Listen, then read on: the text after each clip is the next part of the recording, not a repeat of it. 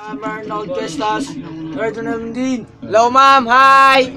We're here to explain what is UN. We're not doing the contest fashion-like thing to explain 14% to what is that kind of, Take a deep breath. that is our knowledge about UN. You already know naman that we're not that kind of guy to do that shameful thing. And I- we're here to share my, our knowledge about the 10 questions that is related to UN. And for your information, I'm reading it, you know. Then let's start.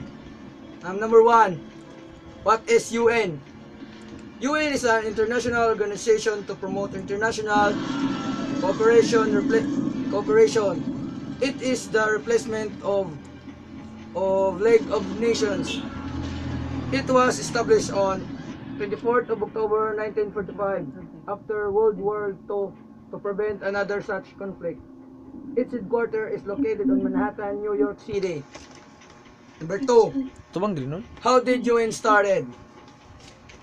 This organization was started on October 24, 1945 after the World War II to prevent another war between nations. It was created to keep peace between countries. Number 3. 3. What is the uses of UN? UN has its principal organs. General Assembly for main deliberative assembly.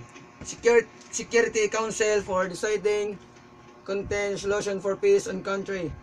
ECOSOC or Economic and Social Council for promoting international economic and social cooperation and development. The Secretariat for providing studies, informations, and facilities needed by UN. International Court of Justice, primary judicial organ, and the United Nations Trusteeship Council. These organs is what UN do to their members, you know. I don't know what is that English, you know. Number four, what is the importance of UN? UN is important because it helps to keep peace. UN has its branches like World Bank and World Health Organizations that gives fund and helps exterminating diseases. Number five, what did UN bring? What did UN bring to their members? UN brings help, UN helps to their members like funds to helps the country blooms. Number six, how many countries is um is the is a member of UN? When UN has started, it has 51 members. As of now, it grows to 193 nations including Philippines. Oh. Wa pa ko nabutan ng project. Kadi ko kabaluan ni story. Number 7. Why did Philippines join the UN? On October 24, 1945, the Philippines joined the UN organization as its 29th member of this Chaloya. Philippines joined because its leader is expected to get up from the organization. Number 8. What did UN brings to the Philippines? UN brings peace to our country and UN also helps our country blooms in the ranking as the world's best countries. Number 9, you know, hapit na ma'am.